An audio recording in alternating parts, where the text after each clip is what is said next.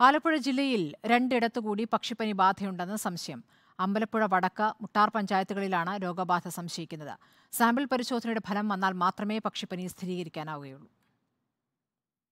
ഇന്നലെയാണ് അമ്പലപ്പുഴ വടക്ക് മുട്ടാർ എന്നീ ഗ്രാമപഞ്ചായത്ത് പരിധിയിൽ വളർത്തു താറാവുകൾ മയങ്ങി വീണിച്ചാകുന്നത് ശ്രദ്ധയിൽപ്പെട്ടത്. കർഷകർ മൃഗസംരക്ഷണ വകുപ്പിനെ വിവരം അറിയിച്ചു. തുടർന്ന് ചത്ത താറാവുകളുടെ സാമ്പിളുകൾ ശേഖരിച്ച് ഭോപ്പാലിലെ ഹൈസെക്യൂരിറ്റി ലാബിലേക്ക് അയച്ചു.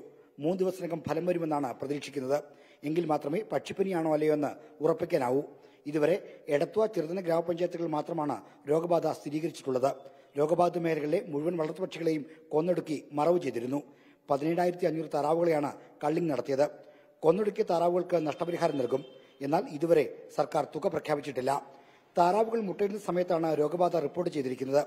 അതുകൊണ്ട് തന്നെ കർഷകർക്ക് വലിയ നഷ്ടമുണ്ട്. രോഗബാധ സ്ഥിരീകരിക്കാത്ത സ്ഥലങ്ങളിലെ കർഷകരും ബുദ്ധിമുട്ടിലാണ്. വിൽപ്പന നിരോധനം വന്നതോടെ വരുമാനം നിലച്ചിരിക്കുന്നു. റിപ്പോർട്ടർ ആലപ്പുഴ.